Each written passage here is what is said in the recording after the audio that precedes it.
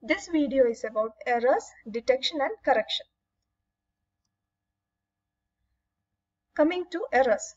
Whenever bit flows from one point to another, they are subject to unpredictable changes because of interference. This interference can change the shape of the signal. So uh, types of the signal, uh, type of the errors include signal bit, single bit error and burst error. The term single bit error means that only one bit of a given data is changed that is from either from 1 to 0 or 0 to 1.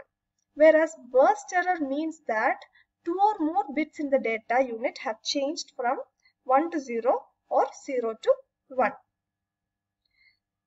Coming to redundancy. The central concept in detecting or correcting error is redundancy. To be able to detect or correct errors, we need to send some extra bit with our data. These redundant bits are added by the sender and removed by the receiver.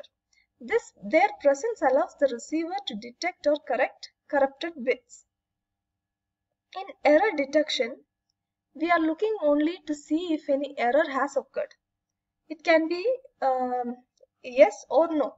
A single bit error is the same for us as burst error. In error correction, we need to know the exact number of bits that are corrupted and more importantly their location in the message. The number of errors and the size of the message are important factors. If we need to correct one single error in an 8-bit data unit, we need to consider 8 possible error locations. If we need to correct two errors in the data unit of same size, we need to consider 28 possibilities. Now coming to error correction method, we have two.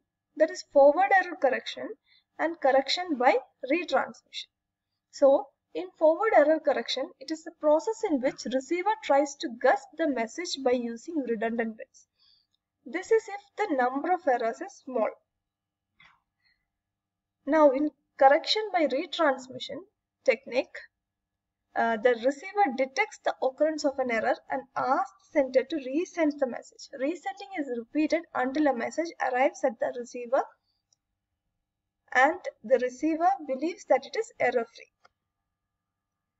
This is all about error detection and correction. Thank you.